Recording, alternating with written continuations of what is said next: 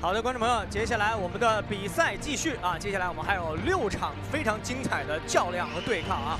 首先要为大家送上的是五十七公斤的一场对决，由日本的伊泽波人来对阵我们中国的王鑫。伊泽波人是我。解说英雄传说印象最深的一场比赛，嗯，呃，当年的低段种落啊，当时给庄树松打得非常的这个措手不及。低段种落也是，那也是我第一次看到这个技术在擂台上出现。所以呢，这场比赛呢是整个今天比赛当中我个人最为期待一场比赛。呃，我们要特别值得说明的是。伊泽波人是传统武术空手道的练习者，对，我们能在他的技术中看到如何把传统武术运用在击拳、自由搏击擂台上，对。于中国武术有着巨大的影响力。我们看看他，我们怎么能够把中国武术的技术用在擂台上？呃，伊泽波人是多年训练极真空手的选手，其实极真空手也是松涛流下属的，也就是我们空手道四大流派最老的一流派之一啊。对，简单说就是那个砍牛角的那位大师，他创的这个极真大山北达。嗯，喂，伊泽波人的风格呢，到目前，啊，这个这个追击有一点这个违规的嫌疑啊。刚刚刚倒地的时候，对。这个王鑫呢是二十岁拿下二零一五年自由搏击六十公斤冠军的，一直在泰国训练，可以说这是一个泰拳式自由搏击和空手道式自由搏击在擂台上的一个对抗。嗯。伊泽波人自己并不全，你看，看又开始了，又开始了，低段中落，哎，继续拿后脚跟儿，从上往下，从外向内的勾击，对，所以叫镰刀腿，漂亮，腾空的一个，王鑫有传统武术的背景，对，这这是啊，泰拳的带摔，王鑫的整个的训练模式还是主要是在泰国，所以泰拳的影响是比较大。呃，后手扫踢，这个选手啊，有一个特别重要的一个特点，他对于距离的把控特别好。但是在今天，王鑫很聪明，王鑫始终没有给他一个他的镰刀腿和拳法结合这样一个距离，就是这个距离。现在是，现在是。好，王鑫很聪明啊，退出，退到围城之外。当时跟庄树松打的时候，就庄树松用低扫跟伊泽博人换这个砍踢，结果这个在中距离，因为泰拳的扫踢发挥不出来威力，对，所以导致这个后面的重击。我们看。顶膝、砍腿都是在对方的这个大腿外侧，也就是股四头肌外侧的这个位置。而且他的这个腿法的时候啊，放胯的角度并没有那么大，也就是说自己的这个上身啊，距离对手的上身要更近一些，因此拳法的连击会更快。没错，日式的踢拳这种粘着性点拳法加点膝，伊泽文人把点膝换成了低段中落。我们看后手两个前摆，后摆前摆。但是王鑫这个意识转身转身边去这个反击的意识，低段中落，在我们中国的传统武术里，实际有类似的技术，比如说咏春拳的拦门脚。是，啊，但是在我们选手中能用上的真的是不多。嗯。哎，这个王鑫对这个转身腿的这种喜好程度特别高啊。但是转身动作一定要小心，你至少有二分之一的时间是看不见对手。嗯，没有十足啊！你看这个近距离的时候，对。这种镰刀腿啊，一定程度上也是泰拳吸气的这种效果。对，而且这个镰刀腿正好是克制了泰拳的低扫。是，泰拳低扫是需要中距离较远的距离，而这个中距离较近的距离，泰拳低扫几乎没有伤害。没错，没有施展空间。哎，没错。王鑫也是用正蹬把对手的距离控制开。伊泽博人等于正好打在了一个泰拳在这个距离几乎没有进攻的方式。这个距离最重要的去。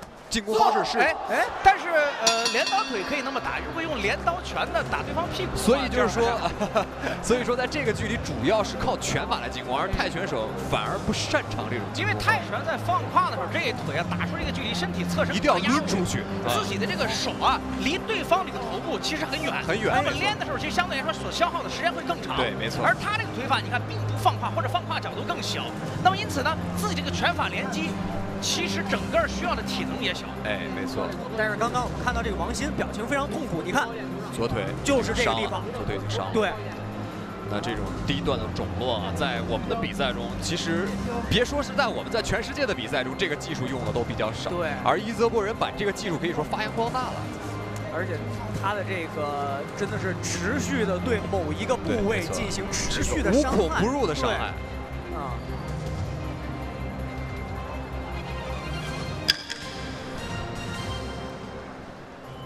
我看，在第一回合以靖王鑫已经受伤了，而我印象中庄树松是在第三回合才扛不住。那这种累积性的伤害对股四头肌的伤害是不可逆的，可以说在短时间内是无法修复的。没错，没错，没错。其实大家可以找一下这个感觉，就是有时候你被一个硬物突然一下顶到这个大腿，你你可以找一下这个。他这个动作本身呢，其实伤害单次杀伤并不大，先是压强，哎，他的接触点要比扫踢接触到他的大腿上的点要小，小，因此压强会更大。对。好，现在是双方第二回合的比赛。伊泽波人绝大多数的战术就是你用远腿的时候我防御，然后我用拳法开始开路，只要进到我中近距离，我就腿就开始点你。对，一旦你的这个防守的这个重心啊，在自己的这个头部护呃防拳的时候，我这个腿呢就开始勾草你了。嗯，而且日式选手对于中距离和中近距离的这种连续进攻的意识和他们这种核心肌肉的控制呢是比一般的选手要好很多。对对。所以呢，其实我觉得伊泽博人这个选手特别重要一点，我们有时候会注意到他的镰刀腿和特特殊的传统空手道腿法。我们看他怎么去控距离。嗯，我们知道很多移动特别好的选手，我 们会看到他移动跟副边一样。可是他黏住对手呢，是把这个进攻和防守的动作和步伐移动连在一起的。他始终跟对方保持一个特别近的、适合他自己的一个距离，就是让你发不出力的距离。我们看伊泽波人现在的战术太清晰了。没错，我永远要攻击你的腿，是。就是那个点，对，拳也可以，腿也可以，我就不打你别的地方。没错，大家可以现在再看，就是你前面这条支撑腿，就是王鑫前面这条支撑腿，我的拳，我的膝，我的脚，全都奔着你那个地方去。是是，那这样王鑫如果再不改变自己的战术，我估计第三回合可能站不住。哇，你看，又是，而且双方在分开的时候，这个距离还是给他腿上。啊！哇！不行了，不行了，那大腿股四头肌的伤害是不可逆的。哇，有点站不起来了。如如果要这就是所谓的射人先射马。但是，看看还能不能坚持王鑫。我觉得，我觉得这个有点悬了。我个人认为，你看。不行了，不行了，不行！这你看这连续的低扫，其实每一个腿法，你看他并没有放胯，只是把腿甩过去，单击力量并不重，但是连续打击同一个点，对这个点的杀伤效果就是非常非常好的。你看现在王鑫。完，这个大腿肌肉已经完全丧失功能了。伊泽波人在去年的比赛实际并没有发挥的这么好，在最早更早一些的比赛，在深圳的比赛，伊泽波人的低段肿落可以说是给所有的泰式选手造成了巨大的麻烦。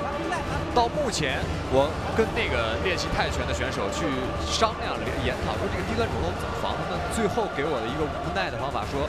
就跟对方换好了，用我的冲膝，他因为泰拳有自己的这种膝尖的冲膝，冲对方的大腿内侧，然后对方用一个低低砍，我们用一个冲膝，这样跟对方换。慢镜中这种这种低扫连续连续，他并不像泰式这种扫踢，对，整个身体这么压进去，不需要的。日式的触击。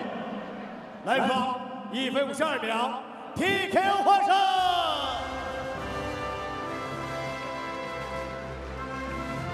有请尊敬的，也是中国的骄傲，世界体操冠军、体操王子李晓双先生，代表北京生物科技有限公司董事长何平先生。